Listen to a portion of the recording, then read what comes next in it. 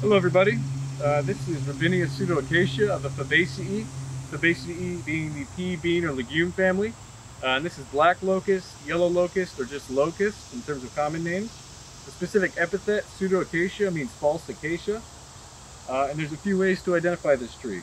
So notely, the leaves are pinnately compound, and we'll get into these terms uh, as we get into the lectures with Dr. Jeffries, but pinnately compound means that each of these leaflets belong to one larger leaf, and the pinnate refers to how they are spaced along the stem of the leaf known as the rachis.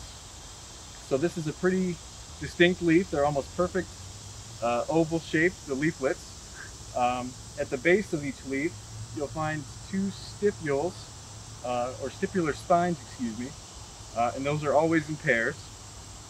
If you were looking at the bark, it's pretty distinct. Um, even from a young age, it tends to have deep fissures and furrows, and to me it almost looks like it's braided. It forms a kind of criss crisscross uh, ropey pattern almost. Uh, it tends to stay a light brown or a golden brown in color.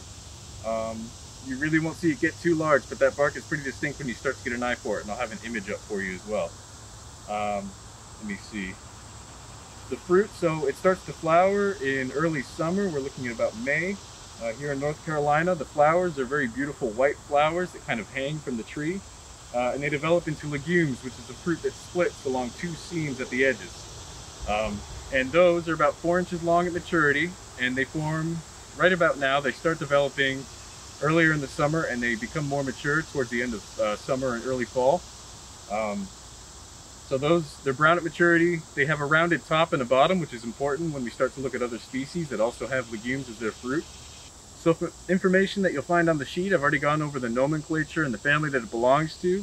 Um, this species is naturalized from the mountains, meaning it's kind of originally from the mountains, uh, at least in North Carolina, and its prolific way of spreading seed and reproducing has allowed it to spread further and further uh, towards the coast. This species is incredibly important because of its ability to phytoremediate the land.